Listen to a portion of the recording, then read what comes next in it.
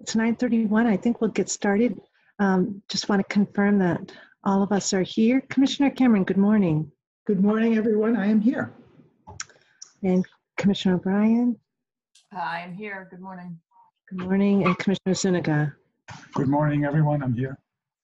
And Today, um, really the last full day of the state of emergency declared by Governor Baker last year in March. Um, we are um, able to enjoy continued um, um, benefit of the virtual connectivity so that we can meet in this fashion today under an executive order that the governor issued last March as well. Um, be- before we get started, call to order the meeting. Um, today is Monday, June 14th. It is just 9:32 a.m. and it's a public meeting 347. Commissioners who have been here from day one, you are approaching 350. So um, this is a big number. Before we get started, I do have a few prepared remarks, um, if you'll allow me, and then um, we do have a busy day ahead. First off, happy Flag Day to all. This coming Friday, the MGC will honor a new state holiday that formally recognizes the historic significance of June 19, 1865, when more than 250 enslaved Black people in Texas were finally freed by executive decree over two and a half years after the Emancipation Proclamation took effect, and nearly one half year after the 13th Amendment was ratified. For those newly freed individuals, this day became known as Juneteenth. While nearly all states recognize Juneteenth, our Director of Diversity and Legislative Affairs, Jill Griffin, wanted me to emphasize that few have adopted this day, also known as Freedom Day, Jubilee Day, and Emancipation Day, as an official state holiday. On June 19 last year, Governor Baker declared Juneteenth a Massachusetts state holiday in an official proclamation, stating that, quote, Juneteenth is an opportunity to recommit ourselves to the goal of creating a more equal and just society, an effort that continues today, unquote. On July 24th last year, that proclamation became law when the governor signed the state legislature's bill designating Juneteenth Independence Day as an annual state holiday. And consistent with this commission's commitment to intentionally promote and expand racial and cultural awareness and appreciation within the MGC, our Equity and Inclusion Group will be following up internally on this special day of celebration. We also have other reasons to celebrate. I want to acknowledge two significant promotions within the Massachusetts State Police Gaming Enforcement Unit. Our commanding officer, Captain Brian Connors, was promoted to detective captain effective yesterday. Brian started with the MGC's formation and built the team to the robust unit that we know today, the 24 7 on site presence at all three casinos, the investigative group in our Boston office, and the racing division troopers. Distinguished by his integrity and dedication, we have been more than fortunate to have Detective Captain Connors in this leadership position. Commissioners, Brian is not able to join us today, although I pleaded with him last night. But he did have to report this morning early to headquarters, and he has promised to join us for public recognition at a later date. And I have a sense that we will probably be celebrating with him in a less public fashion in the near future. While our loss is now the Commonwealth's gain, we do have very excited relating, related news, excuse me. Please join me in congratulating our very own Michael Banks. Mike was promoted to captain effective yesterday and assumes the unit commander's position of the GEU. Mike, as you know, comes with prior experience as a homicide investigator at the Middlesex DA's office and has earned his JD. We'll have a lot in common there. You've got a few other attorneys, Mike, to work with.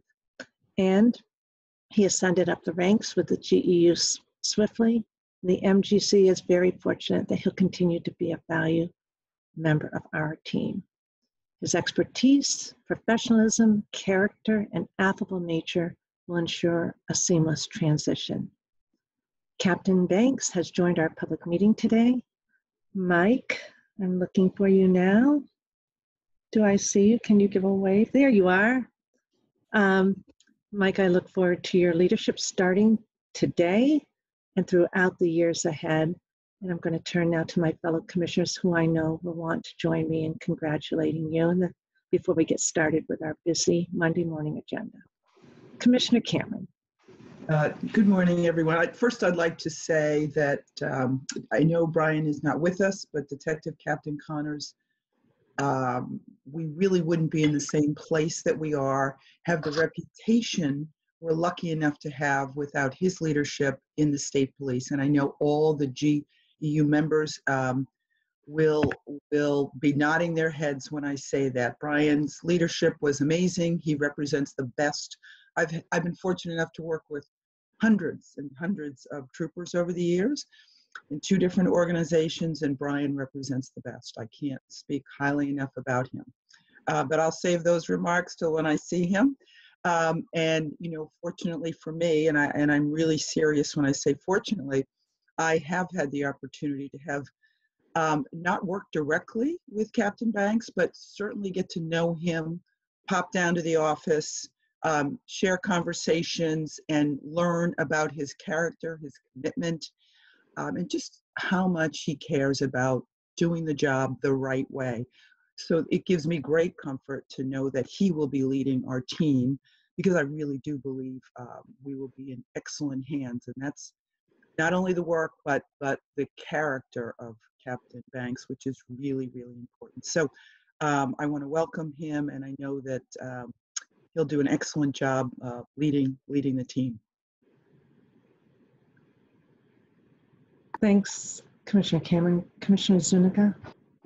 Yeah, thank you. Um, um, just to uh, to say the same, uh, I feel uh, really happy, and it's a great occasion to have two great deserved promotions um, to very distinguished careers that will continue, as as uh, Chair Judd-Stein says.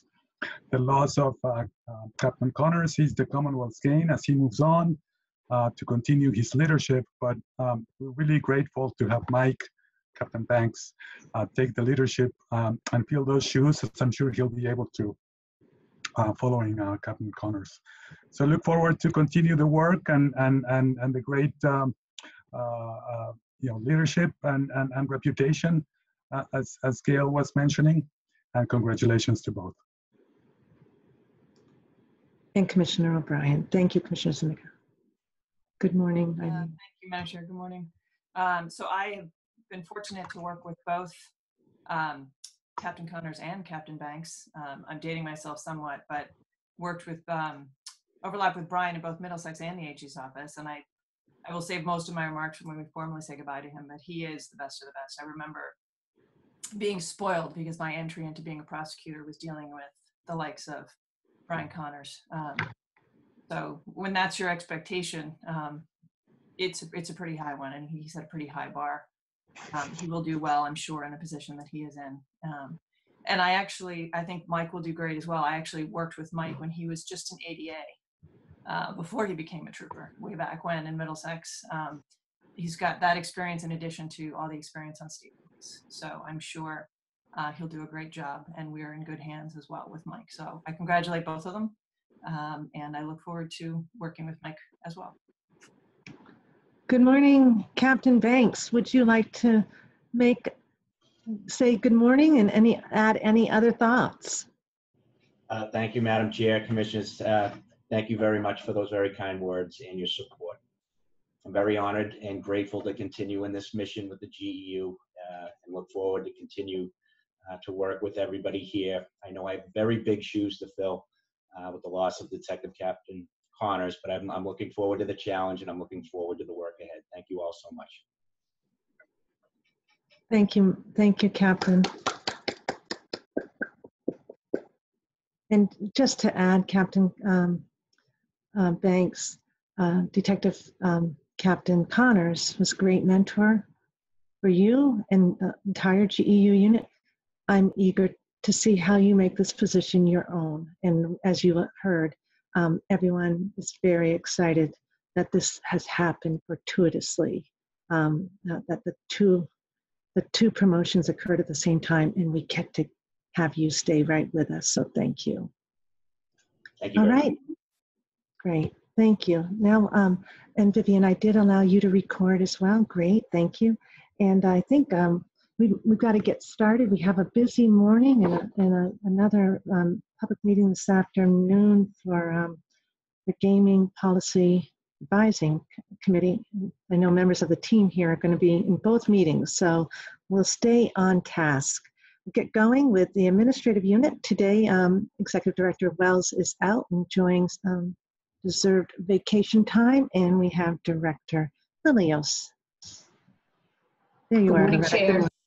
Hi, good morning, Chair. Good morning, Commissioners. And I'd be remiss if I didn't uh, quickly and publicly congratulate both Brian and, and Mike and state how much I'm looking forward to uh, working uh, with the GEU under, under Mike's leadership. Um, With respect to our update this morning, I have uh, a brief update uh, for you with two pieces of information. Uh, the first pertains to MGM Springfield. Up until now, their hotel has been uh, open but limited to invited and hosted guests. As of this Friday, the 18th, the hotel will be open to uh, all guests, and guests will be able to make reservations online and over the telephone. Uh, so that is a, a big turn uh, for MGM, and I wanted to note that. Uh, and the other update has to do with operations at Encore.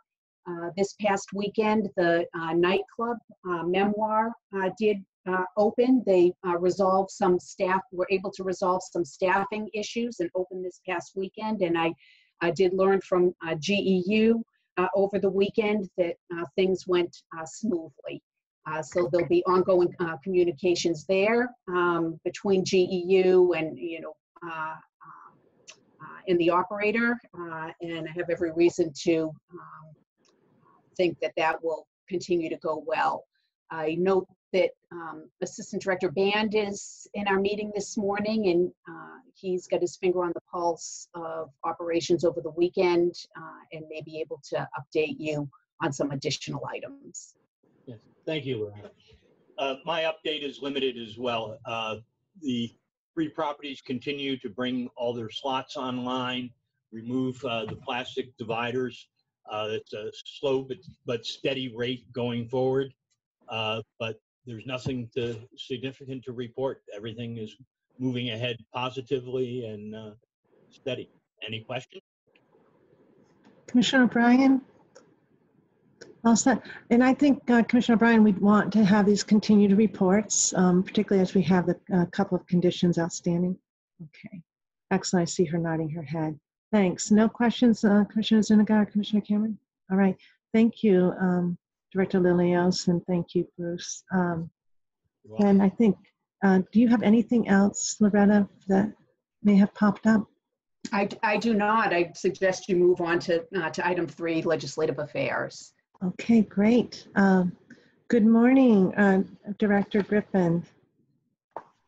Good morning, Chair Judd-Stein, and good morning, Commissioners. Um, uh, Commissioners, um, I think you've all had an opportunity to review MGC staff written um, draft white papers on sports wagering.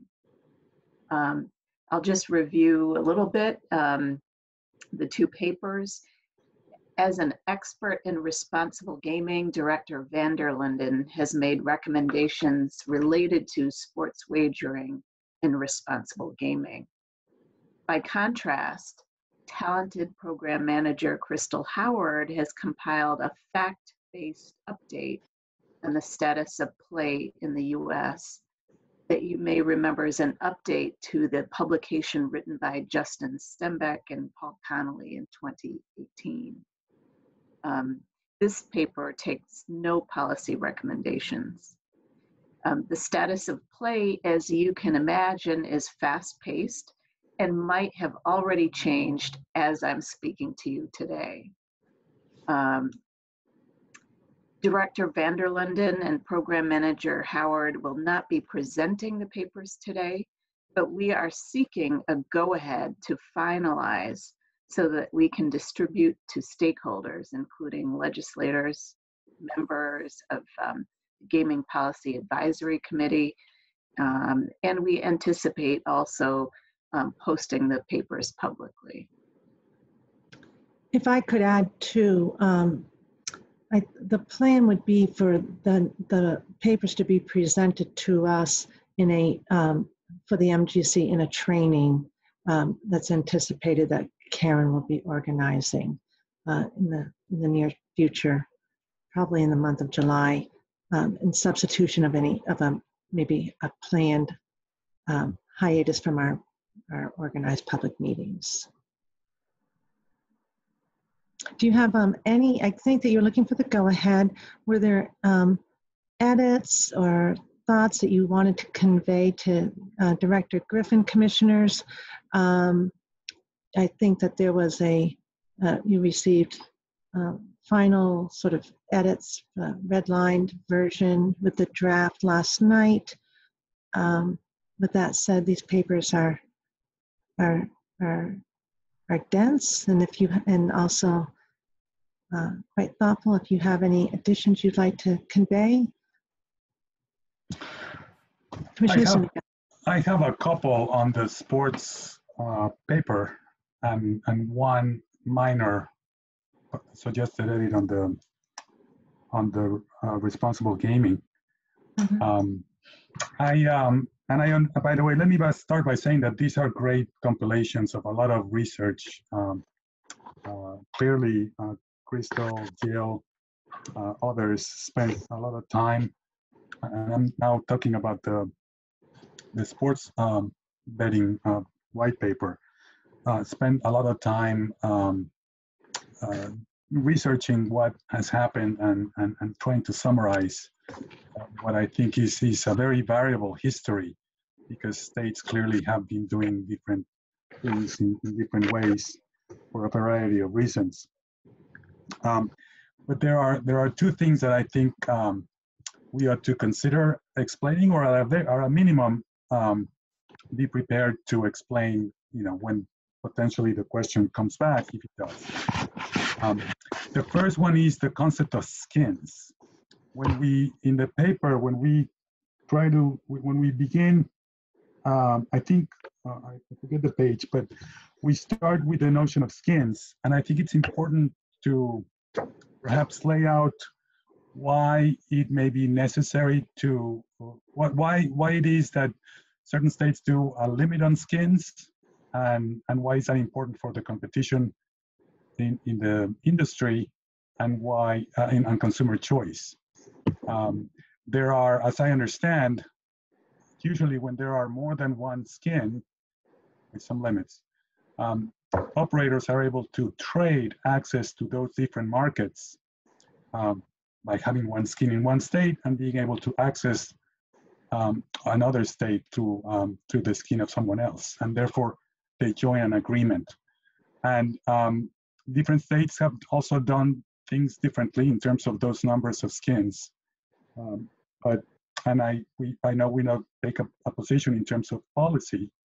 It's something that the legislature ought to understand, in my opinion, because different operators here in Massachusetts are going to have different say into whether or not to have multiple skins um, per per uh, per operator. Um, depending on where you, how many states you are, you may not be interested in having uh, many skins, but if you are not, as an operator who wants entry into the sports betting world, you might be interested in more skins that you can then trade access to. Um, again, this, I don't know if this fits in the paper or not at this point, but it's something that we should be prepared to answer or at a minimum to, to, to put in some way uh, why that's uh, something that they should consider from a policy standpoint. Um, and the other one is um, uh, we, we, I think we do a, they do a great job. You, you, um, putting all the sports betting revenue in other states, especially compared to, you know, I like particularly the charts that, that put in the percentage, um, and how that percentage that can vary quite a bit in the last year because of the pandemic, etc. But, uh, and there's also another number that gets in there, which is 35 million in Massachusetts revenue that at some point recently, um, uh, I think the, the administration considered uh, as a potential first year revenue for Massachusetts. Um, I think it's important to try to put some of that into context. I don't know if we have knowledge of that, but I know, I, I, I recall that that number may have assumed a low tax rate. Uh, when we talk about the, what that $35 million may mean to Massachusetts, uh, we then go into a section that explains high and low tax rates and appropriately discusses why, what, what are the pros and cons of one. But, but if we know what, what uh, tax rate was assumed for that figure, um, that might be a better context for the reader, uh, especially if they're looking at it from a Massachusetts perspective compared to other states. How do we stack up in that 35 million for the first year or for a future year, whatever that may be? Uh, again, it's trying to put into context that that. Um, but other than that, I think it, it does, as, as the prior one, uh, I think it strikes a really good balance in trying to um, articulate what is a very variable. Um, there's some significant differences uh, across the states. That's the main message that anybody should take away from that. There's really clear implications um, into you know whatever they decide to do, if they do decide to do anything, uh, and and great examples of um, the contexts of other states. What happens with a high rate? There may not be a total elimination of the black or gray market, for example, et cetera, et cetera. So um, I, I, I think um, those are two things that I thought might be worth considering, but otherwise I like very much uh, the way, um, the length and the way that it lays out, um, you know, what is clearly a lot of nascent developments in very recent years. If I could make a suggestion, those are two great comments, uh, Commissioner. Maybe with respect to um, the uh, the revenue number of the 35, is it 35 or 30? Yeah, 35 million.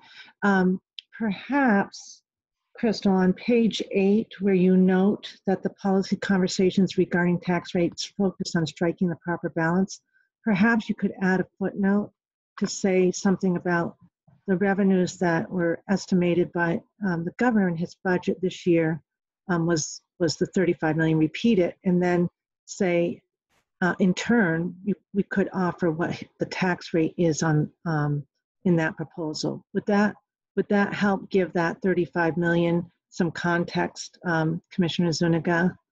Uh, yeah, yeah. Even if it's a footnote, I remember. I, I, I'm sorry, I should have gone to the prior uh, um, white paper, but I remember there were three scenarios in the last one, between 10, 15, 20 percent. We we didn't, you know, we didn't go into high tax rates in the white paper and they right. assume different things in terms of revenue because uh, it's not a one for one. It's not like a higher tax rate is going to bring necessarily more revenue because again, there's there's a participation of the market that you know is not directly correlated. Um, right, and that paper still stands. So that yeah, analysis yeah. is well, you know, uh, available and actually read. And it, it, it was someone's hand that prompted us to say we really need to do uh, right. an update. Uh, so I, I think that the two combined, maybe with that notation, it gives that 35 million some context that will address it. Uh, and then with respect to the skins, I think that might take a little bit more thought, Crystal um, and Jill, but perhaps at least generally um, reflect that uh, the number of, of skins, um, even if necessary, is um, that get that get actually operationalized may be influenced greatly by the market forces themselves. Is that fair, Commissioner Zuniga? That is that is very much fair. Yes, and it's around um, you know operators uh, you know being able to compete, which is something we you know they the legislature and us may want to entertain. with some limit, without just a you know an open wide um, you know environment, um, and that also gives consumer choice, um, not just you know uh, one or two platforms. Again, for market reasons. Excellent. Did you have any thoughts on um, Director Vander Linden's paper that you wanted to add? I know Yeah. you had had a chance to review that in advance. I did, and I, I- I did work, uh, uh, you know, I did see that in, in, in a lot more detail uh, before. Um, there is, this is a lot more surgical, and either at the beginning, in the introduction, or at the end, I would insert uh, the, the sentence, something to the effect of um, dedicated dollars from gaming taxes for research programs, uh, uh, research and, and, and mitigation programs. Uh, the, the, the good about the Gaming Act that we all know um, was, was um, very important, and as it's articulated um, uh, in the paper, was that it provided uh, dedicated money for research and responsible gaming programs. And I would invite the, the notion of, you know, preserving that uh, policy um, explicitly, because I think it's a little lost uh, um, currently. I could tell you exactly if you're interested in, in, in what in the, in the This is from introduction. Director Vander Linden's Yes. introduction, yes. Yeah. Do you want it, do you want it now, uh, Mark? Would that be helpful or would you prefer after? Um, Now's good? Sure, yeah, I mean, I'll we, want to, we want to okay. keep this moving. Yeah, exactly. Hold on, because that came, I, um, I didn't have it open necessarily. It it can come afterwards too, but um, the sooner you can pass it along. If, if somebody has other comments and wants to go on, I can find it in the meantime. Okay, that makes good sense. Commissioner O'Brien or Commissioner Cameron, what, Commissioner um, O'Brien, Commissioner Cameron will have her go next. That would be good because we had the chance to look at the, one of the papers. Thanks, Eileen.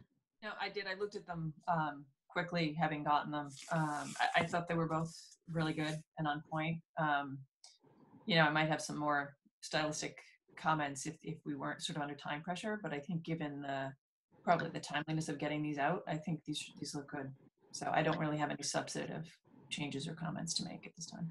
Great, thank you. And, and yes, um, and, and stylistically, of course, we can all adopt our own. I have to say that um, I like the contrast of the two styles and they reflect um, the, the nature of the work. I thought that um, it was, um, you know, Crystal, you taking this on short, such short notice and being able to capture what really is the essence here. It's just changing and every jurisdiction um, really has learned from the other ones before it. So you captured that, and then um, uh, Mark and Marie Claire, uh, your voices are, are very clear in, in the in the paper. Commissioner Cameron, Uh, Yes, thank you, Madam Chair. Um, You know, I, um, like Commissioner Zuniga, I had the benefit of watching the iterations um, with, with the sports wagering. And, um, and frankly, it was excellent from the beginning. Um, You know, a couple of tweaks so that we all can understand things clearly. But I, I just think it's, uh, it's so well done and really, really timely. Um, And, you know, I, I try to remember this is staff's work. And secondly, um, there was a real effort to stay away from policy. And I think for good reason, right? So um, some of the, um, some of the uh, edits maybe with regard to um, Commissioner Zuniga's points, um, I think if we can do that without, because it, it does border on policy, right? So trying to, um, trying to just reflect, eh, maybe give some more information about what you know a skin and how it can be how it's effective and what it can offer i think that's really good because that's informative without getting into you know why states because we really don't know why other states did what they did right? We know what they did but we don't necessarily know why. Um, so i think the timing of this is really really good. It's an excellent work. It will be utilized with this discussion coming up this week. And um, with regard to the responsible gaming um, excellent work.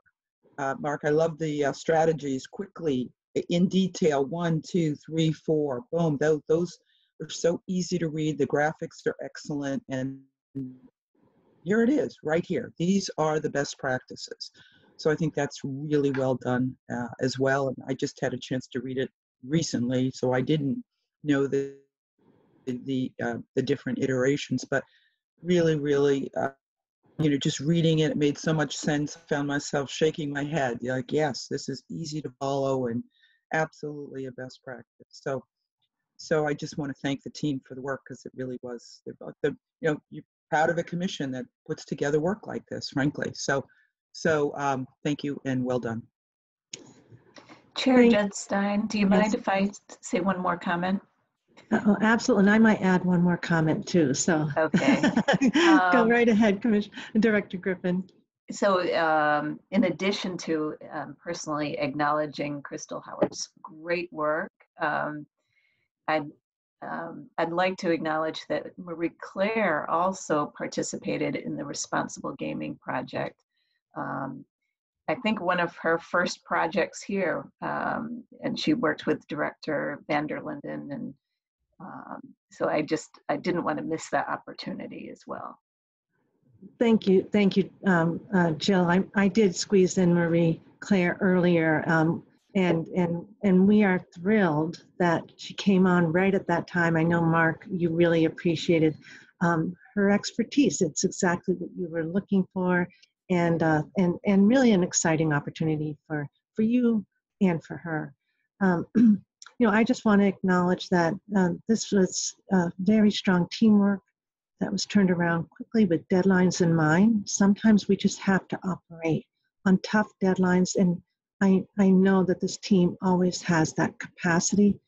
And while it's demanding, it is with great gratitude that we um, acknowledge your your dedication over these last several weeks to get this work done. So so thank you for rising to that challenge and, and surpassing it. Um, we, uh, the Gaming Commission, are happy to um, um, respond to outside um, inquiries, including the legislatures. The team has been able to do that. We, of course, don't assume anything about the sports betting legislation. Right now, the proposals that are out there do um, name the Gaming Commission as the potential regulator. But we'll stay, we stay tuned, and, and we do that without presumption um, and with humility and with an acknowledgement that in the event we are named the regulator, we will be prepared and we will be timely um, and, um, and, and assume the responsibilities just like so many of you did back um, when expanded gaming came into fruition. So thank you. And I think I hear, commissioners, we have a consensus that Jill has the green light.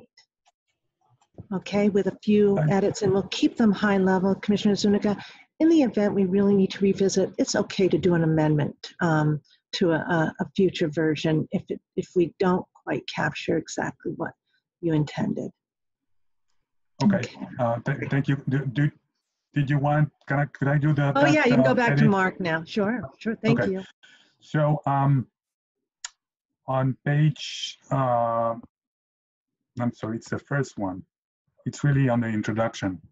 Mhm. Um, where it says, um, you know, the legislature created a vision. They understood that to achieve this, there must also be a plan to mitigate gambling related harm. I would strike the rest of that sentence and insert something like, and dedicated significant dollars from gaming taxes for research and responsible gaming programs. In other words, give credit to the legislature for what they did in the Gaming Act.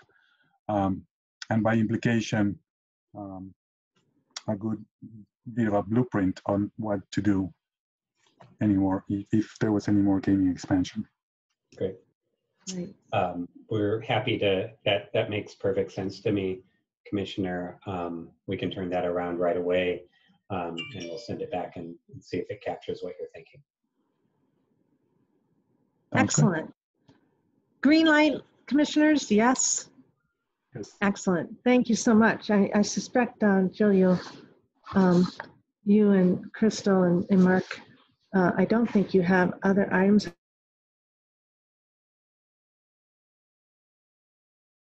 you need to be excused. Thank you. Okay, moving you. on then. Moving on to um, item, item um, number four, an, an exciting update for, for you. Um, a, a different update. We haven't had a discussion around boundaries of the gaming establishment for a while, Todd. So good morning. Good Morning, Madam Chair, Commissioners, and uh, everyone. Um, Item number four, as, as the chair mentioned, does pertain to a petition to amend the boundary of the gaming establishment at Plainridge Park Casino. Um, And there up pops uh, North uh, Grounsell, the uh, general manager of the property, who will uh, present the bulk of the request.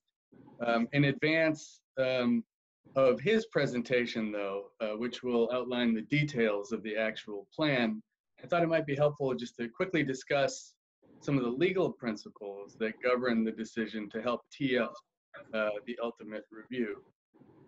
Um, and I, I believe the um, proposal is in the commissioner's packet, so you can see what he will be presenting uh, shortly. The specific request, as depicted in the presentation, is essentially that the previous uh, approved racing apron area be expanded further beyond the existing boundary line to allow for a fire pit area adjacent uh, to the surface parking lot next to the racetrack. The commission initially set the boundary for the gaming establishment at PPC um, on June 11, 2015. And in establishing uh, that boundary, the commission considered a number of provisions contained in Chapter 23K. First and foremost, though, is the definition of the term gaming establishment itself, which is in Chapter 23K, Section 2. And the statute defines the term gaming establishment as the premises approved under a gaming license, which includes a gaming area and any other non-gaming structure related to the gaming, and may include, but shall not be limited to, hotels, restaurants, and or other amenities. So that's the definition of the term gaming establishment in the statute. So from the definition, it is clear that the gaming area itself must be included in the gaming establishment, and that sounds uh, pretty obvious. Beyond that, though, the use of the term may in the definition also makes clear that the law was designed to give the commission great latitude to include any other element of the property it deemed necessary uh, to ensure proper regulation and control over the property and the uh, the activities of the licensee. The law does, of course, provide guidance as to which other elements and amenities should and may be considered uh, for inclusion in the gaming establishment. What I mean by that is that by definition, any element that is included must be a non-gaming structure that is related to the gaming area. The definition includes some examples as to the types of elements that were envisioned to be included under that part of the definition and it specifically references hotels, restaurants, and other amenities. Uh, so that's that's where the statute uh, leaves us. So in determining the boundaries of the three gaming establishments previously, the commission came up with what is essentially a four-part test, which aids in the analysis and, and governs the review of these types uh, of issues. Um, and it helps us determine whether to include or exclude a particular element um, of the subject property within the boundary of the gaming establishment. And the four elements that were discussed previously, and this is um, by way of written decision that the commission issued a number of years ago. The four elements are whether uh, the area is a non-gaming structure, whether it is related to the gaming area, whether it is under common ownership and control of the gaming licensee. And fourth, whether the commission has a regulatory interest in including it as part of the gaming establishment. This fourth part, the regulatory interest, only comes into play if the first three elements are satisfied. And in each of the previous three cases in which the commission determined the boundary of a gaming establishment, there was actually another associated factor that was looked at. And that is whether the area at issue is essentially curtilage or is appurtenant to an area of the gaming establishment that otherwise meets that part test. And that, for example, is how the racing apron area at PPC was included initially in the boundary in the first place. There are um, actually examples of this, the curtilage and appurtenance uh, uh, considerations that are in play in the other two gaming establishments as well. So as well, it's not limited to just uh, Plainridge Park. So in the present matter, the analysis I suggest would focus first on the racing part of the building where the wagers are placed. So there is an actual building uh, that we're looking at. Uh, that part of the building, as we all know, was included in the boundary of the gaming establishment as it met the four-part test that I just uh, discussed. The racing apron was considered to be the curtilage to that part of the gaming establishment and thus related um, to the, the racing building, and so it was included as well. So the next part of the analysis uh, here then is whether the new area, which extends further down the racing uh, apron, um, is still part of that curtilage, or it is appurtenant to the gaming establishment as it presently exists. Curtilage and appurtenance are essentially legal terms of art that are intended to cover the area outside of a building that the law recognizes be closely enough related to the building that a privacy or other type interest should be afforded to it. For example, this typically comes up in the context of the area surrounding a residential dwelling, like the lawn or a walkway or something like that, where a homeowner still has some privacy interest, though not as great as the interest inside the home. So a curtilage or appurtenance is something right outside of a building that is closely related uh, to the building and, and, used as part of the building. So that's that's just the broad overview of uh, what uh, Mr. Grounsell is about to discuss.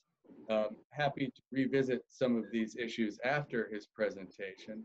Uh, but unless there are any questions, um, I'd like to just uh, turn the, the matter over to North at the moment to run through his petition.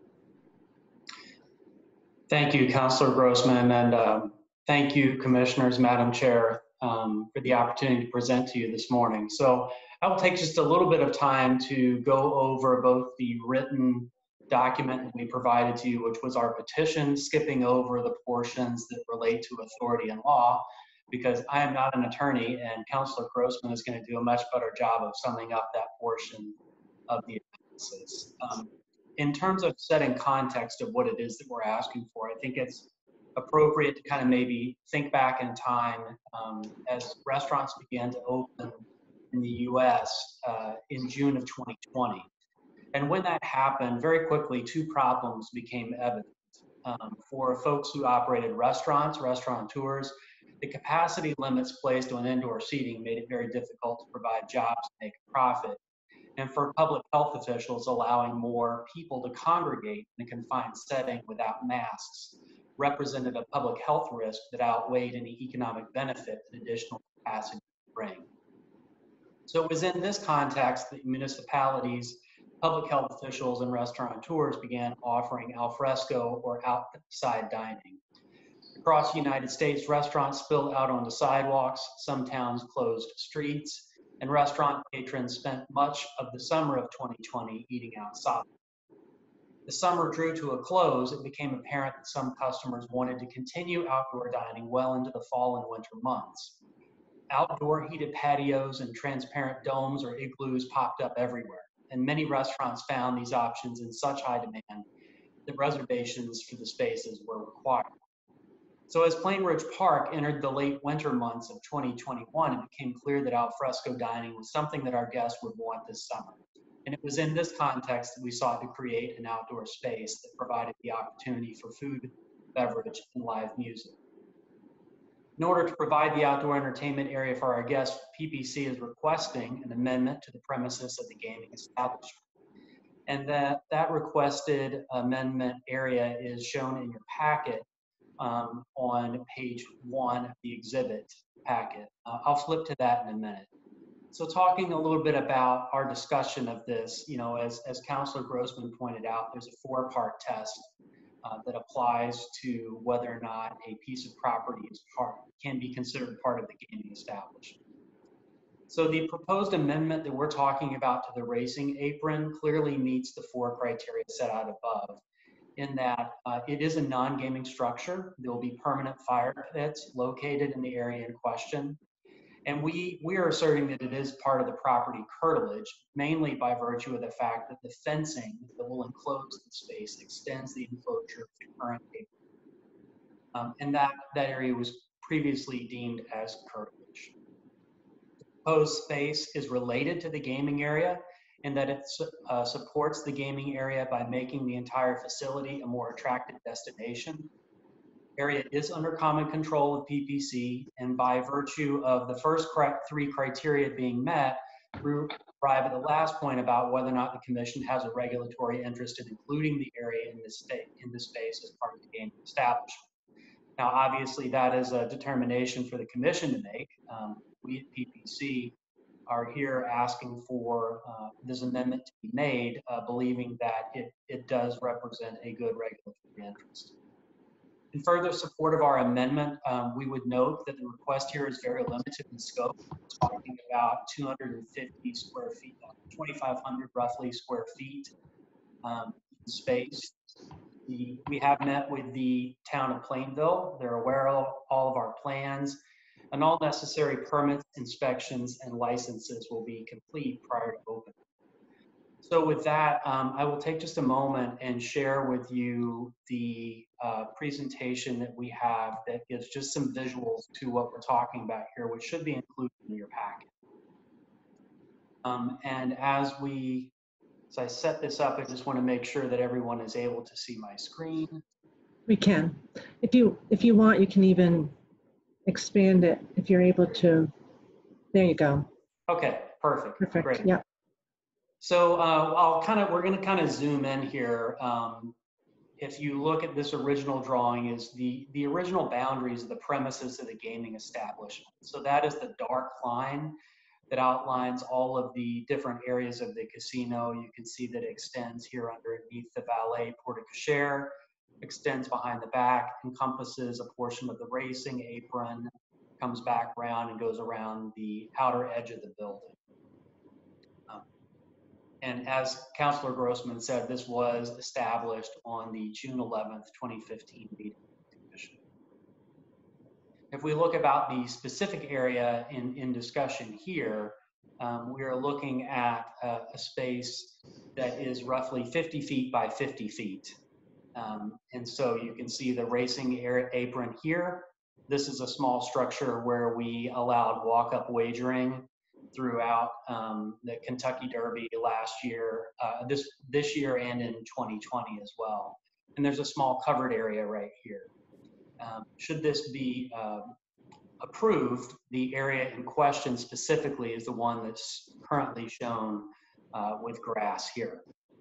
So currently, we do have an alcohol permit for this area. We do occasionally serve food and liquor uh, and alcoholic beverages in this area, and we do have some existing seating that exists within this area. Uh, in the next section, this is kind of, again, zooming down one more level of detail just to show a plan for what the area would look like from above. Um, so we've got two fire pits here in the center, flanked by several picnic tables, and then an area in the back where there would be space for a food truck uh, to come in and out of the space. So this is a mixed use area. Um, there would be, uh, in the area in question, the particular area that we're asking for the amendment uh, would primarily just be the service of food, outdoor dining, um, and for just for a place for patrons to sit and relax while they listen to some music or play some games, things like that. Um, this is a, a, uh, a, very simple rendering of kind of what we're looking at for the space. So it's a very short extension to the uh, existing racing apron. Um, we are talking about a, a, section that is very limited in, in its scope of, of what the ask is here. Um, and with that, uh, we've also got some kind of marketing materials of what it is that we would show to customers. We're considering calling this area the patio um, and just a little bit more about what space would be considered uh, from a guest perspective. So uh, with that, I will conclude my, my presentation and, and stop for questions that the commission may have. Commissioners, questions for North? Um, why don't I go one at a time? Commissioner O'Brien? If you're ready. No, the only question, so the, the very first time I went down there and saw that space, I was curious as to why it actually hadn't been utilized that way already. Um, so I'm actually not surprised to have you guys coming in now and asking for it. Uh, if anything, I thought maybe you'd go a little further out. I know at a certain point you need the buffer, there's the access to the track at that point, maybe that plays into it. But um, do you foresee this getting, coming back and getting bigger, or you feel like this is the space that you need to optimize? I think that's an excellent question, Commissioner. Um, at, this point, we we the the simple answer is I don't know. Um, I understand that there are limits here in terms of how far we can push this space um, from the commission standpoint. Of you know, I don't want to um, push our luck as it as it would be, but all things being equal, I would love for it to be so popular that we need to extend even further. Um, there are definitely partnerships that we are exploring right now, and we expect to have 67 Degrees, who is a local brewer um, in Franklin and is also a minority and veteran owned, uh, begin a tap takeover with us um, here Ideally, um, they will be inside the casino for the celebration of Juneteenth so that we can provide support to a minority owned business uh, during that time. Uh, but will definitely be with us in the outdoor area that is not part of the portion being considered today um, here towards the end of the month. So we see that there are a lot of opportunities here, you know, as, as we look at serving a number of guests and people who want to eat outside, and we think this can be a competitive offer. Thank you. Commissioner uh, Cam, oh, Commissioner Zuniga, sorry, Commissioner Cameron. He's, uh, he leaned in. Uh, uh, thank you. No, I, well, only because I actually remember um, that space being used for some programming. I believe when the where, where the casino was when the casino was under construction, but there was actually racing going on. Um, there was some um, I, I, remember a pony and some other kind of you know um, snacks and things like that, which I think is very appropriate. Um, so I think I, I, I, like the rendering and the use. I'm, I'm glad you're um, you're thinking, um, you know, creatively to try to expand offerings. I don't see any adjacencies issues, of course, here. It's all within your property. There's no other um, property owner or public space or anything like that that could, you know, um, not fit within the definitions that you um, that you uh, uh, articulate, you know, in terms of curtilage and whatnot. So I, I'm, I'm very much on board and uh, with with um, uh, with the request. Commissioner Cameron. Thank you. Uh, I agree with all of that. I am on board with this too. I think it's a great use of space. People do enjoy um, outdoor space um, in particular, even more now than before, right? Um, the only question I had was, I, I, suspect all of the, the entrance will come through the apron, right? So to, to enter this piece, you need to come in through the racing area and out through the apron. Is that correct?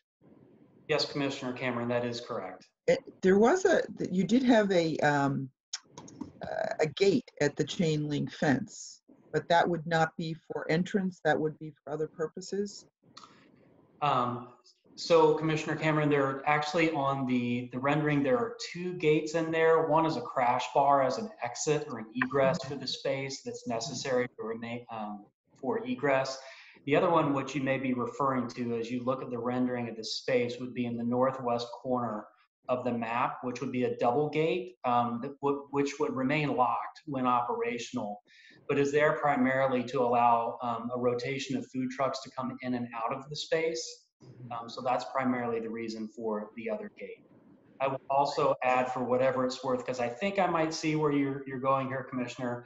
We do have good surveillance on the space. Um, we have three unobstructed views of the space from a variety of different angles, and we are um, adding another angle a little bit more close to Great, excellent. That's exactly where I was going. I assumed that that was for um, use by, you know, to bring in equipment, tables, the, the food truck, whatnot. But I just wanted to clarify, but uh, I, I agree with uh, everyone's comments so far, and I do think there is a regulatory interest in us improve, approving this. So thank you.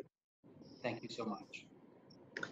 Just a couple of uh, uh, clarifiers. Uh, Director Lillios, your team has had a chance to review um, the plan and including Bruce Band and the gaming agents in terms of surveillance. And, and there you are, Bruce. Loretta, do you want to comment?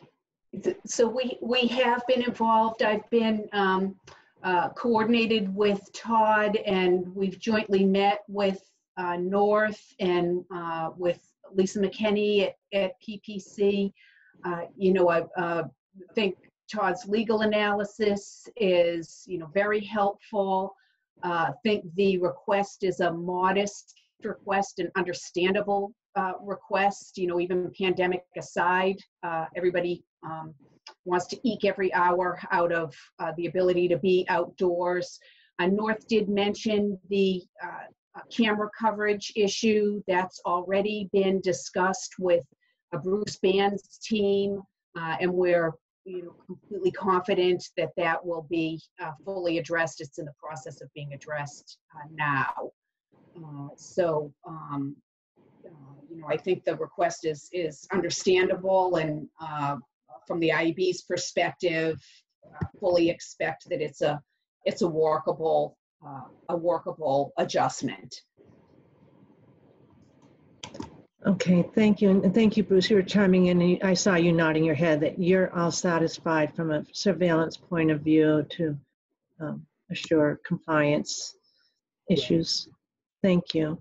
Um, the second is, do you anticipate, North, that this will be um, all year round? You mentioned igloos, or do you see this as, as seasonal, um, associated mainly with horse racing? Um, so that's an excellent question, Madam Chair. I, I, think that as we, we look at the, the summer, um, some of that will depend on how strong the demand is for the area. Mm-hmm. I think the fire pits give us some options there in terms of extending into the shoulder seasons. I think as we get into the, the deep winter months, I would be very surprised if we're looking in February-ish, uh, January, February of seeing patrons out there. But I think that you know the heating portion provided by the fire pits. We plan on selling s'mores so that people people can make their own s'mores out there, that kind of stuff. Uh, will we'll lend to an atmosphere where people may want to extend into those shoulder seasons.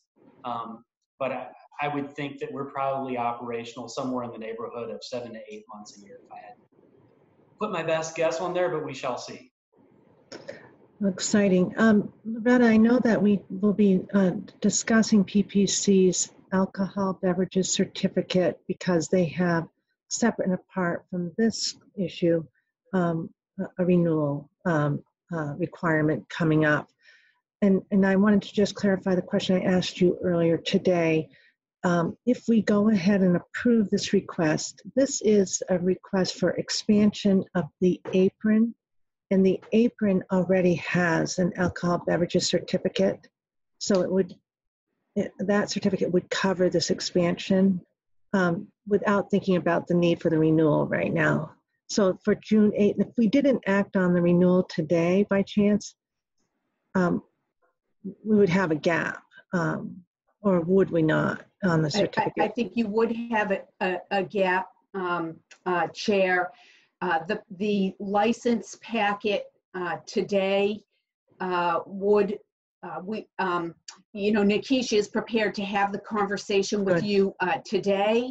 Yeah. Uh, in the event that you allow the expansion, she will update the blueprint in her packet with the new blueprint, uh, showing the new boundary.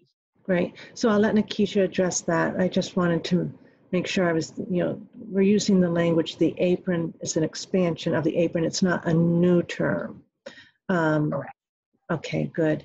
Uh, so those were my questions. I guess my comment is um, threefold. One, I think it's an exciting opportunity for horse racing um, as an enhancement uh, to that offering.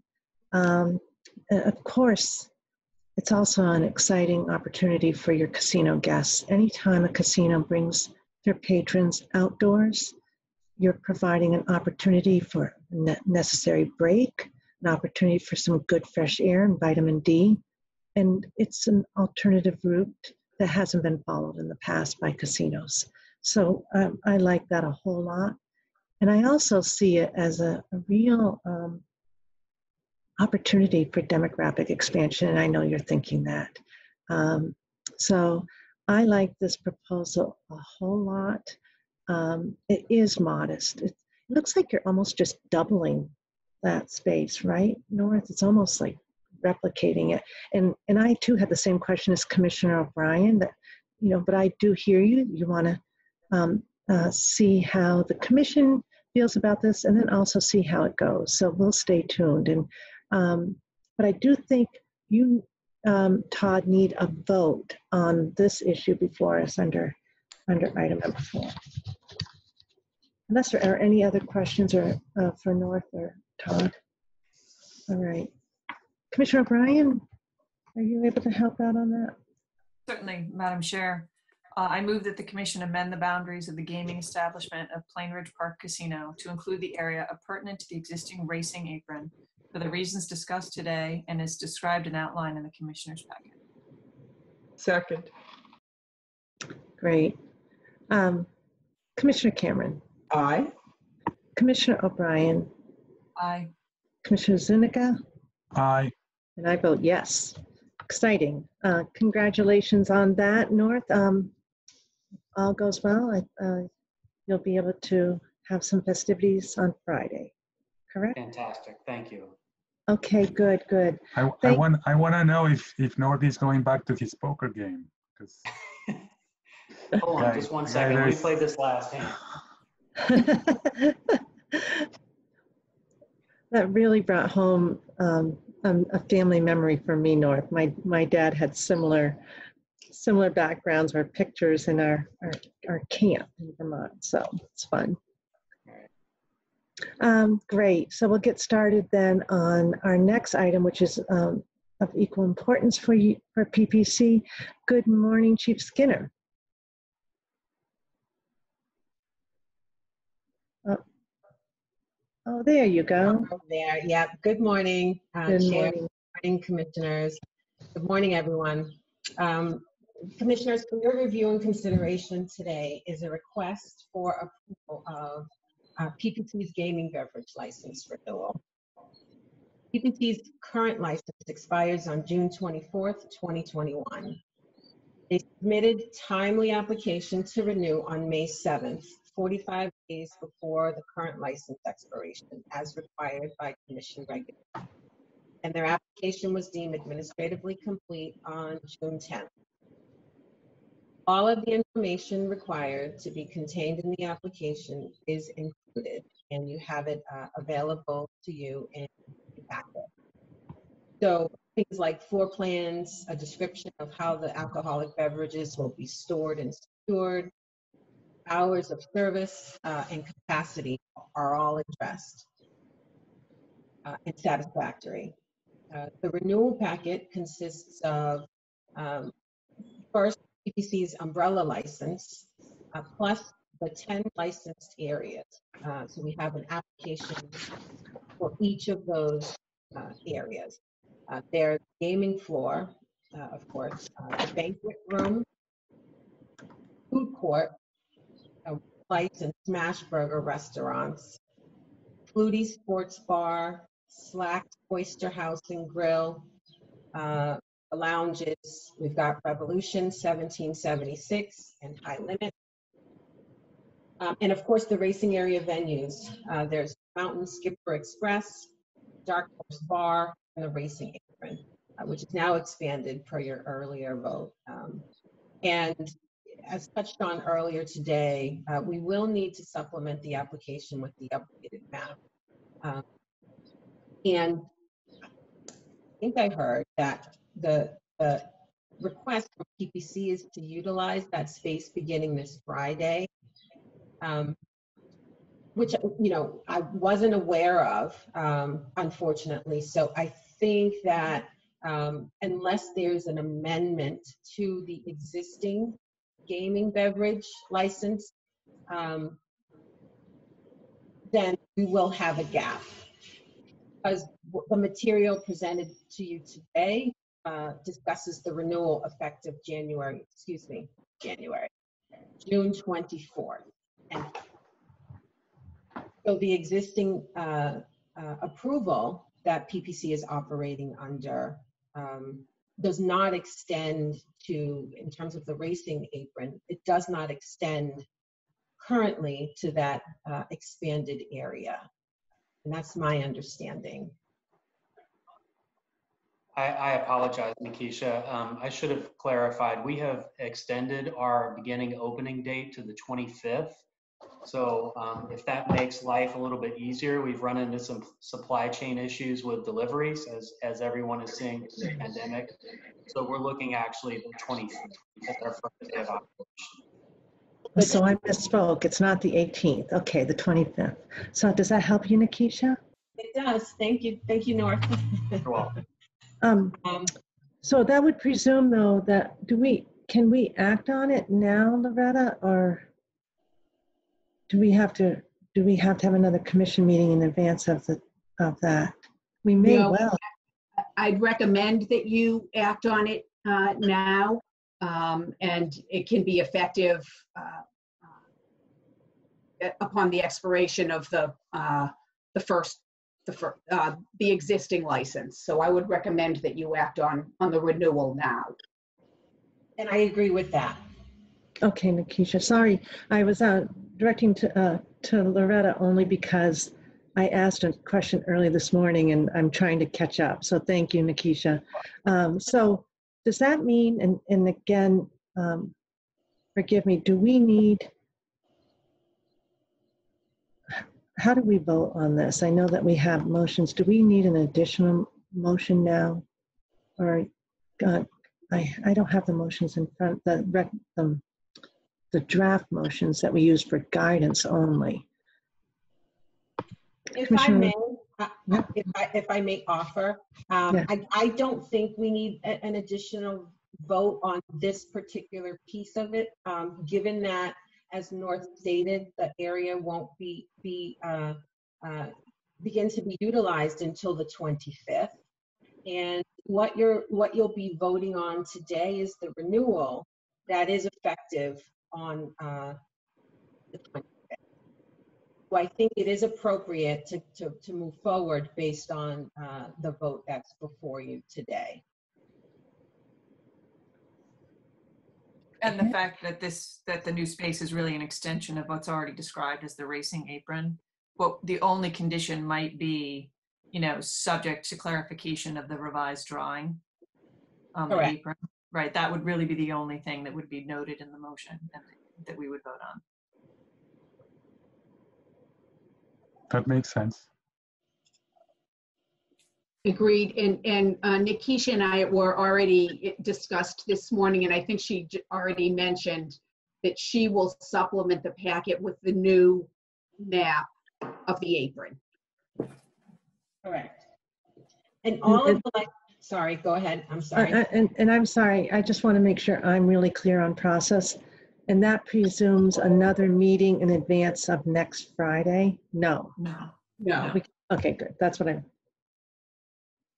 So, so when you say supplement the packet, So, so your vote, um, the, the motion before you, as uh, Eileen mentioned, if you could add language uh, to indicate uh, as reflected in the addition of the uh, new map of the racing apron.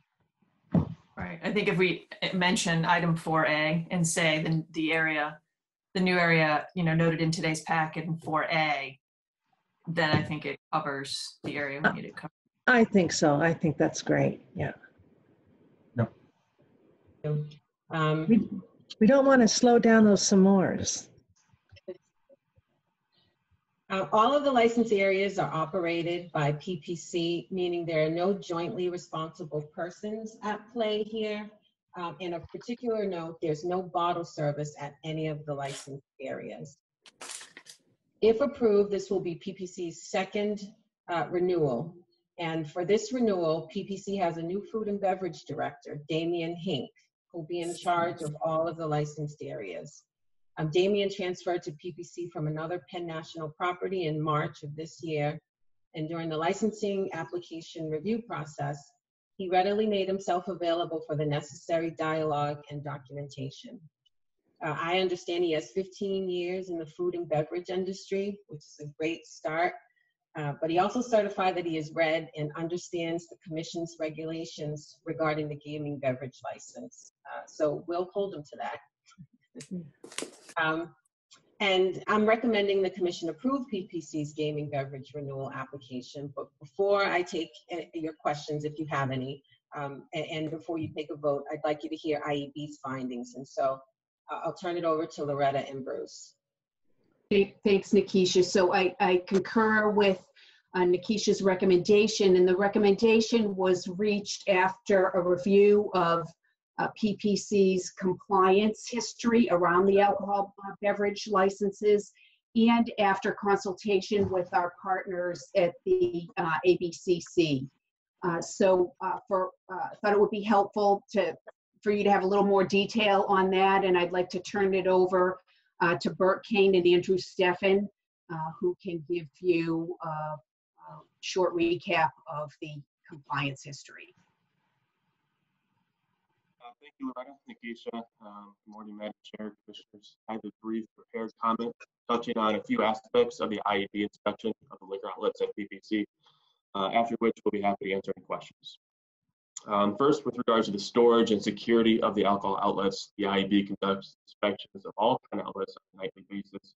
This is completed through our surveillance monitoring system or through an actual physical, physical inspection on the casino floor and back of house. Uh, the IEB ensures all outlets are secured by checking beer tap locks, cooler door locks, and alcohol storage doors. Uh, with regards to the surveillance aspects, the IEB conducts weekly alcohol reviews, again through our surveillance monitoring system. Uh, we are routinely notified by uh, the surveillance team and GEU of patrons that are given a 24-hour trespass, 30-day uh, eviction, or even possibly apprehended by the GEU the IEB will then in turn review these patrons for possible overservice. Our review consists of the patron's time on property, the number of alcoholic beverages they are served, and even which food and beverage employees serve them. Uh, if there's a situation of possible overservice, it is discussed immediately with PPC compliance management. Uh, through these inspections and reviews, the IEB has recorded minimal instances of alcohol-related violations and non-compliance, non-compliance issues. Uh, any observations, again, are discussed with PPC compliance and are followed up with additional training for their employees. Uh, lastly, uh, the IEB and PPC maintain, maintain a relationship with the Alcoholic Beverages Control Commission. The ABCC routinely conducts unannounced on-site inspections, reporting minimal issues. Uh, in fact, after recently speaking with the ABCC on the matter, they have reported minimal issues, not only in the last few years, but also since opening the casino six years ago. Uh, the ABCC has stated they have no concerns with the renewal of the liquor license at PPC as well. Uh, to close, PPC has been very receptive to our findings and maintains exemplary compliance with regards to alcohol services. Uh, with that, the IEB fully recommends the renewal of PPC's liquor license for all requested outlets. Thank you. Thank you, Andrew, and good morning. Good morning. Um, Chair, if I can uh, comment and uh, thank you, Andrew. And, you know, at the risk of going back to ancient history, uh, just I wanted to give you the uh, a full picture that under the initial license of PPC, remember we're in the first renewal now, you're, you're getting ready to vote on the second renewal. In that period of the first renewal, uh, not surprisingly, there were some storage item issues that uh, PPC had. They did receive a notice of noncompliance and they received a civil administrative penalty for a series of uh, alcohol storage uh, infractions. Those date back to 2015. Um, since that time, uh, and again, that was under the initial license. Uh, since that time, uh, you know, errors were corrected, and that continued uh, coordination uh, with the gaming agent team and inspections have all been met in a, a satisfactory manner questions for, uh, and, and I want to make sure we get back to questions for Nakisha on the licensing and then on the IEB compliance. So um, I think we can manage both. Um, who would like to wave their hand if you have any questions? I'll set uh, Commissioner Zuniga, Commissioner Cameron?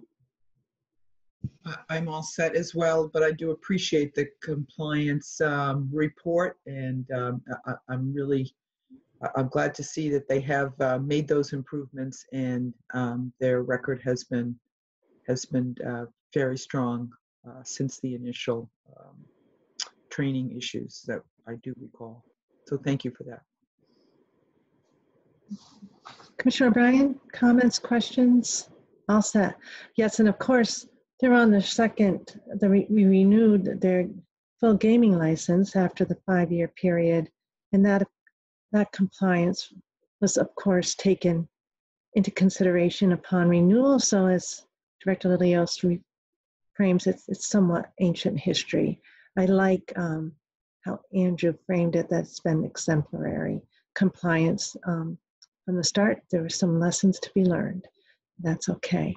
All right. Um, but I want to go back to Nakisha. Is there anything else that you need or want to add? Because I know I added a little element of confusion as I figured out the process. Yes, please. Thank you, Madam Chair. I, can I just confirm, um, if I may, with North, the capacity of, uh, the racing apron with that expanded space? Currently, it's, it's, it's at nine sixty-three. And, you know, if, if that, I would imagine that will be expanded. Um, and so I would ask, Madam Chair, uh, that we adjust, uh, the vote to ac- account for that as well. North? Yep. So um, I do not have a fire rating capacity for that area yet. I'm happy to get it for you, um, Nakisha, if that if that's helpful um, for that space. But it, it will be an addition of 2,500 square feet. I'm just not sure which formula they'll be using to determine the additional. Um, there, there is quite a bit of space there, as, as you pointed out. So the 963 for the apron, I think, should be more than sufficient. But um, if we need to add additional uh, for the additional square footage, we will. Okay. And so um, with that, Todd and uh, Nakisha, do we, do we need to manage that in any way, uh, subject to um, an expansion of that number? Nakisha? I think we should reference that in, in, we should reference that in any motion as the, I think the anticipated motion would essentially incorporate the particulars of the application. So we want to just recognize that that one number will be different. Madam Chair, if I may, we, we're not, we're not requesting an increase of the capacity. Um, If the fire marshal were to come back and, and to grant additional capacity, we can always um, amend it at a later time. Oh, But the current capacity for this space seems more than sufficient. Okay, so the number that Nakisha was nine something would stand. Yes, 963. Commissioners, questions on that? I- Commissioner O'Brien? I did. I just, I'm looking at, I'm trying to figure out what page I'm on. I think it's um, 13 in the pack. It's the gaming beverage license information chart. Yeah. We have location, restaurant seats, tables, bar, square footage, that chart. Um, it references number eight as the racing apron. There is no specification in terms of seats and tables. Nakisha, is that acceptable or do we need to be slotting in or putting a placeholder in there? Uh, This is the, the list uh, Yeah. that we've, provi- that uh, PPC has provided. Um,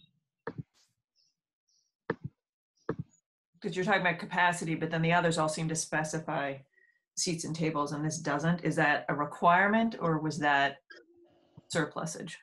I think that's surplusage. It's not, it's not required by the regulations that info, that that information be included in the renewal. Okay. Okay, all right, thank you. Commissioner Cameron? Now, question, so knowing now that they're not asking for um, an addition, it will remain at 960. Is there a need to reference that number in the, in the motion? Would seem to me that we wouldn't have to do that. I don't think you would, uh, Commissioner Cameron. Um, The number 963 is listed on the application itself, um, the renewal application, and that is what uh, you are uh, voting on today um, with the, with the addition of the expanded area. Okay, thank you. Any further questions? Well then, if there are no further questions, um, we do need a formal vote. Are, are you prepared, commissioners, to offer one motion? I, I am, I'm happy to make that motion. Great, Commissioner Cameron. Um, I move that the commission review the gaming beverage license issued to Plainridge Park Casino, subject to the revised drawing of the apron mentioned today in 4A, including all licensed areas described and depicted in the application contained in the commissioner's packet and reviewed today, and incorporating all terms and conditions described in Chapter 23K 205 CMR and included in the submitted applications for a term of three years ending on June 24th, 2024, in accordance with 205 CMR 136.061. Commissioner, Second. Commissioner, uh, I heard a second. Did you say Yeah. renew or review? at Yeah, be- I think we need to say renewed, and maybe if we say renewed, um, effective immediately upon the expiration of the existing license. And then the rest of the language would cover it. But I think if we add that phrase in, then it covers renewing and then having it kick in as soon as the existing one expires. Yeah, if I said reviewed, I meant renewed. I thought that's right. I couldn't didn't hear tell. myself say that. So um, No, it might have been my ears, so thank you. uh, with that revision, motion stands. Uh, I, I second that motion with those revisions. And Todd, you have that correct, all set?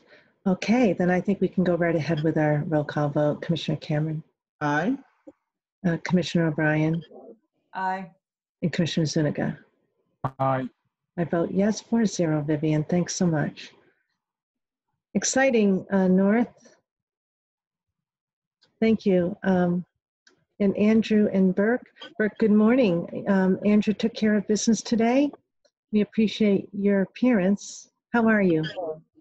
Hello, how are you? Yes, Andrew does such a great job. I think Bruce and I uh, welcome the opportunity to uh, allow Andrew to speak. That's an excellent job. Thank you. And Nakisha, are you all set? I am all set. Thank you, commissioners. Uh, Thank you to the IEB and the Gaming Agents Division. Um, As you said, Andrew, thank you. Great job.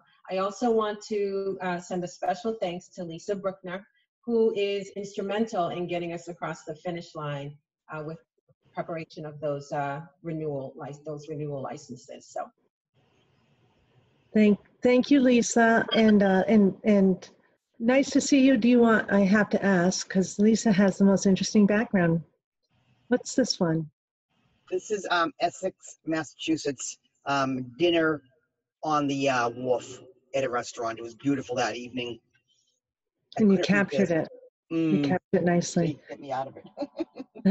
Well, thank you, Lisa, for your good work. And I know that PPC is very pleased with this outcome. So thank you to all. Takes the whole team. Evidence right here, right? So thank you. Um, I think then uh, we can um, move on Mary, to. I'm shocked. Oh, we can move on to item number six. Is that correct? All right, thank you. So we have Dr. Lightbown. There you are. Good morning, Alex. Going away. So uh, we have I several, like Oh, Lisa, you might want to mute. Thank you so much. so we have several um, new people to um, uh, be approved as racing officials today. Uh, One of Joe Pastella um, is going to uh, be uh, photo finish and timing. He's being trained now by Andrew Tavares. Um, Ed Angel has been with the um, track, uh, on the track crew since 2015, and he's being elevated to track superintendent. Um, Wayne Dunphy is um, a uh, backup presiding judge. He's had two years as a presiding judge and four years as an associate judge. He does have a USTA presiding judge license. He does not have the racing accreditation program um, certification. Uh, last year, uh, due to the COVID, they did not hold that certification program. And so there is kind of a shortage of judges.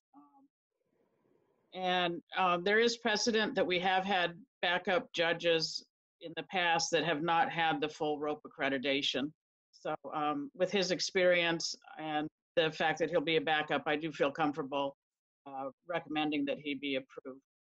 Uh, Steve O'Toole, the Director of Racing for Plainridge Park Casino, is on, um, joining us by phone today if the commissioners have any other questions for him.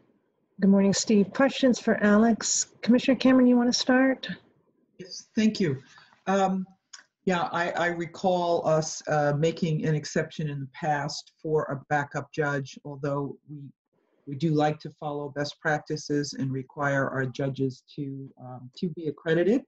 Um, And certainly, we would encourage, um, if, if um, Mr. Dunphy were to continue as a backup for years to come, we would encourage um, uh, him to go through that process, which I know is rigorous. But I, in, in light of the fact that the course was not offered, I think that this exception is warranted um, in this case.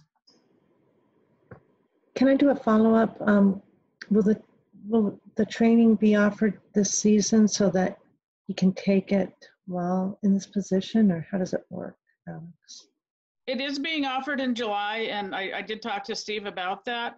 Um, as uh, Commissioner Cameron mentioned, it is a rigorous program that um, is basically uh, has the person unavailable to do their regular job for 10 days. Um, so um, sometimes that inhibits people from doing it if they're actively in a position where they need to be present. Yeah. Okay. And so does that mean that it would be offered off-season as well? It might be offered another time of the year. Often they do offer it twice a year, but right now I only see the July dates being offered. Commissioner O'Brien, you're leaning in? No, you're off. No, no, it was just more reacting to that conundrum of the dates not really being conducive to time to be able to do it. It's a, yeah, it's a, a- not ideal, right? Um, Commissioner Zuniga? I'm all set. I'm I, I'm going to rely on your judgment, um, Alex, on that. It does seem like a little bit of a catch-22. Yes, unfortunately. Commissioner Cameron? Yeah, I would, I would hope that um, ROAP would get back to twice a year accreditation once they um, fully come out of these pandemic circumstances. Great. And we need a vote. If there are no further questions for Alex, Dr. Lightbown. Uh, Madam Chair, I'd be happy to uh, move that the commission approve the following racing officials at Plainridge Park Casino in accordance with 205 CMR 3.18. Walter Sullivan Jr. as the Assistant Racing Services Manager, Joseph uh, Pastella as the Racing Supervisor, including photo finish and timing, Ed Angel as the Track Superintendent, and Wayne Dunphy as the backup presiding judge. I second that motion. Yeah, Thank you, Commissioner O'Brien. Um, No further questions. Commissioner Cameron? Aye. Commissioner O'Brien? Aye. Commissioner Zuniga? Aye. I vote yes, four zero. Thanks um, to Vivian, and thank you, Dr. Lightbown. And Steve, I know that you're on, um, on phone. Thank you, of course, for, for um, all that you do in North. I think we may have concluded um, at least direct business with PPC as we turn to our budget discussion. Uh, Is there anything else that you want to offer to the commission or any questions for Nor? Nor?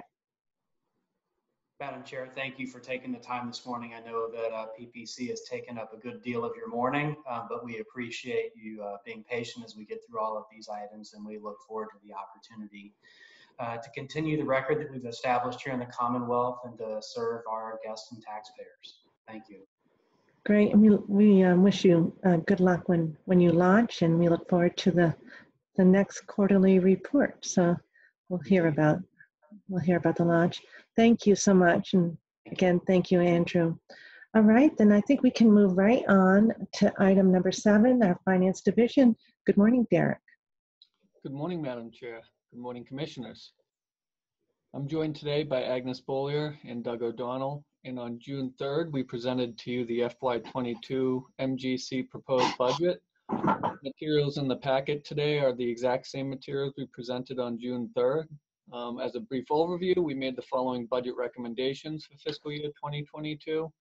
A gaming control fund budget of 33 million, which includes 27.12 million in regulatory costs and 5.9 million in staff required costs, funding 94 FTEs and three contract positions.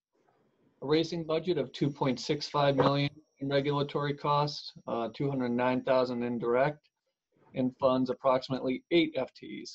A community mitigation budget funded at 274,500, including two FTEs, and a research responsible gaming budget funded at 6.49 million, including three FTEs, in which is wholly funded by the Public Health Trust Fund. Page two of the memorandum summarizes this information and represents an operational budget of 42.65 million, funding 107 FTEs and three contracted positions. Um, an overview, the assessment and timing issue came up last time as well. Um, you know, I, I walked through a very complicated explanation of the formula, which is far better summarized in chapter 23K, sections 56A through C, as well as our regulation. Um, and that formula is pretty straightforward when you read it, not so easy when I try to describe it. Um, but the tough thing about it is the projection for slot machines and gaming positions, table gaming positions on 7-1 is not straightforward at this period. So we use a projection in the memo, um, page eight of the memorandum, and we'll be using that for the annual slot fee bill, as well as the first quarterly assessment. And then we'll adjust the figures as of July 1 to give actual numbers as to what these actual slot fees were. Um, we also updated you that we're, re we're recommending returning to the billing schedule of slot fees and assessments to pre-COVID timing. We had gone forward and gone on a monthly basis during COVID to provide some um, a little bit of leaving, a little bit of um, leeway to the licensees on cash flow. We're going back to quarterly and full year. Um, we said we would post a budget for public comment, which we did on June 4th. We had asked comments to come back by June 15th at 3 p.m. We're here on June 14th, um, so there's still one more day. I can tell you we haven't received any public comments. I did send an email to all of the uh, CFOs of the licensees, letting them know that the deadline would be pushed up and if they could provide any feedback to me that they wanted to uh, ahead of time. I did not receive any of that um, for the weekend. I didn't receive any over the weekend. Um, so what, what we are here asking is for you to approve the budget either in the packet as is, or if um, during the last few weeks you've had a little bit of time to review it and wanted to make some comments on it. Um, any of those comments we would address here and approve that budget. And we are asking for that contingent upon any additional um, comments coming back at 3 p.m. We'd bring those comments back to you for consideration at the next public meeting. Derek, just to clarify, we didn't push up the, the date. Uh, you, you indicated to the licensees that we were meeting today. So the actual public comment deadline is what time and what day? Tomorrow? 3 p.m. At which, I'm sorry? 3 p.m. 3 p.m. Okay. For some reason, I thought it was Wednesday, so tomorrow. Thank you. And this would have worked out um, more seamlessly, but we moved up Thursday's meeting to today um, in order to ensure virtual capacity. Um, Doug and Agnes, thank you. Do you um, have anything to add in besides a, a, hello and a good morning or? Hello and good morning. But um, I, I would like to thank the licensees for working with us in this whole process. As Derek had mentioned, um, you know, it's difficult for them to guesstimate what the numbers will be for the slots in the positions on July 1st, which we will make an adjustment, but they you know, they were very good working with us and getting numbers into us in a timely manner. So I want to thank them for that. Thank you. And, and, and you're reminding all of us that it really is a collaborative, cooperative um, process. Agnes, good morning. Good morning. No, I have nothing else to add. We, they were very helpful in their comments earlier, and we took those to heart, and we've implemented some of them. And going forward, I think it's a good budget. Great. So um, uh, Derek invited commissioners, any uh, additional thoughts or reflections you may have had since our review? I'm, I'm having a hard time keeping track of time. It would have been um, just June 3rd, June 3rd. Right. Commissioner Zuniga? Yeah, I just wanted to uh, clarify something uh, for the for the record, perhaps, and a reminder. Um, so the assessment, just because of this particular year that is so fluid in Mhm. terms of gaming positions, the, the assessment of the slot fee will be revised. Actually, the overall assessment will be revised as of the number of gaming positions as of July 1st, and that uh, that slot fee remains the same for for the rest of the year because it's it's on on that time a, a day or on, on that day of the year. But remind us, Derek, if there was any changes to the gaming positions after July 1st, does the assessment change at any given point, or are we on until the next July 1st? No, so we, we come back um, at the mid-year and do a revisit of the gaming positions as of January 1, and then we reassess the second half of the year based on what those revised counts are as of January 1. Right. But the slot fee does not change, right? Is the slot fee is always for the as, as of July 1st. So we have, we have done it that way. You can, the statute does allow us to do partial billings for additional machines that come on throughout the year. We haven't done that because um, we haven't had much of a need for it. Those numbers stay pretty consistent once the floor um, is seat, and it's only $600 prorated per additional months that it's on the floor.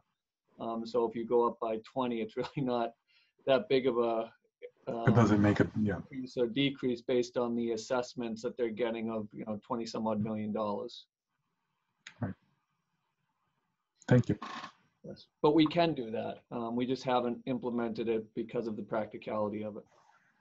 And by the way, by my question, I, I don't mean to imply that we should. Um, I just wanted to clarify, um, you know, the process uh, for for the uh, for the billing and the true up, which only because this particular time there's a lot more reopening and etc.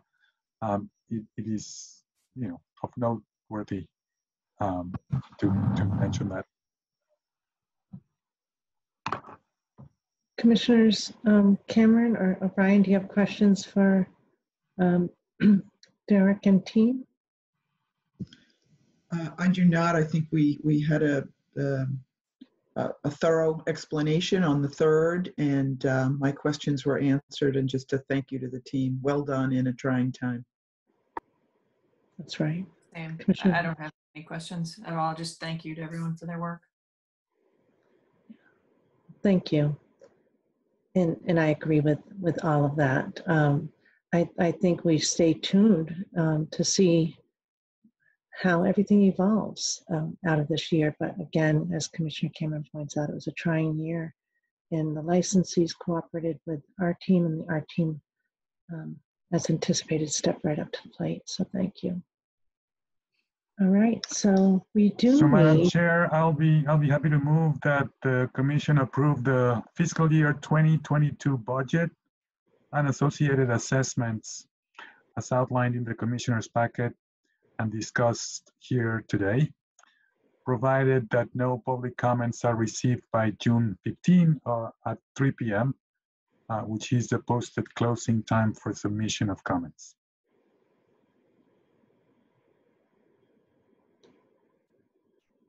Second. thank you. Um, Actually, could we maybe amend that further to say that would require that it come back before us? Because if we get a comment that says, I love it, Okay. didn't have an impact. Thank you for that, Commissioner. I'll, I'll, uh, I'll restate, I'll withdraw that motion and restate it again. I move the commission approve the fiscal year 2022 budget and associated amendments as outlined in the commissioner's packet and discussed today, provided that no public comments against the budget are received by June 15 at 3 p.m. is a posted closing time for submission of comments. Second. Thanks for that clarifier, Commissioner O'Brien. Commissioner Cameron? Aye. Commissioner O'Brien? Aye. Commissioner Zuniga? Aye. I vote yes. Congratulations to the entire team. We have a budget. Thank you Four very much. zero, Vivian. Thank you, everyone. Thank you. Thank you. Okay. Um, wow. Um, I'm not sure. I'm getting some notice. So it's 11:11. Um, we are running early. Um, we have one more item on our agenda. Officially, commissioner updates. Does anyone have one? Oh, thank you, Commissioner Zuniga. Well, uh, just a quick one. Um, I attended another uh, one of those uh, virtual conferences that seem to be um, uh, more prevalent these days as a result of the pandemic. This was the SBC digital Yeah. conference. I think um, a lot of the uh, uh, panels are going to be available for um, to go back and review. Of this was not uh, a, a live-only conference. Our own Mark Vander Linden was was part of a panel there, uh, along with uh, Keith Whyte and other people in the responsible gaming world. Uh, this uh, free conference, free re- for register register conference, I'm sure was very well attended, and there's a lot of um, a talk and discussion about all the activity around surrounding sports betting and online gaming in the United States and the examples of Europe um, and, and other jurisdictions. Um, I took a couple of um, comments that I felt noteworthy, um, and that is uh, the notion that the U.S. has a really good opportunity to do um, to get the best practices, um, especially compared to Europe, um, in this convergence of uh, sports betting and online. From the standpoint that uh, when Europe uh, uh, approved sport bet, sports betting um, 20 years plus ago, a lot of the regulations it don't necessarily contemplate the online space that developed rather quickly after that, and that have had to do some um, uh, you know adjustment, needless to say, as a result of that. Um, so uh, a little bit like the, the same thing that happened in a way to Massachusetts um, when we when they approved uh, casino gaming here, and we were able to take best practices for from other jurisdictions. A lot of what the Gaming Act in fact already did, and we only continued, uh, is perhaps manifesting itself as well um, with jurisdictions across the United States, uh, taking examples from Europe.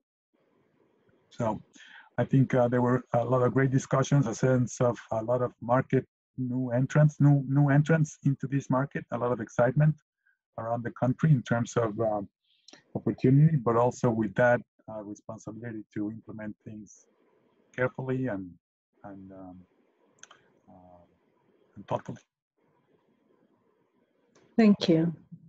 Yeah, um, it, it was an honor for Mark to be invited to that conference. I didn't get to attend his particular segment. I'm glad that you reminded me it's recorded, Enrique, so I should be able to revisit that. But again, congratulations to Director Vander Linden for being invited to that, that um, comprehensive virtual conference. Any other updates? Well, I'll tell you during this time, the, the storm has come and gone, at least where I'm sitting. So um, whoever's on the other side me, oh, I, Eileen, you're looking kind of bright outside still. So yeah, well, I hope everyone has a good rest of the day. We do have the, um, um, the Gaming Policy Advisory Committee meeting at one. I think that that's quite public. If you need an invitation, if you wish to attend, Jill would be able to forward that to you. Um, presentations from the team, starting with Loretta, will be interesting, and they'll get to hear also um, Caitlin's presentation on the federal legislation with respect to tribal matters. I mean, I'm sorry, litigation and legislation on respect to tribal matters. And uh, Alex will give her presentation on the the uh, the federal act on integrity uh, Commissioner Cameron. So I think that the committee members are in for a treat uh, this afternoon, but our team will be hard at work. All right, so with that, again, everyone, thank you so much. Um, stay tuned as to our next meeting uh, and, and, and the format of our next meeting. We'll be seeing what happens um, with respect to uh, any legislative change or interim legislative legislative change, and uh, we'll be uh, figuring out our schedule going forward. I have to thank you, uh, commissioners, for being so willing to to meet this morning um, at such short notice. I think it worked out well. Thanks so much. With that, I move to adjourn. Well, I second that. uh, launched right in there. Great. Uh, Commissioner Cameron, Aye. Commissioner O'Brien, Aye. Commissioner Zuniga. Aye. That makes four zero. Thank you. Um, have a good day, everyone.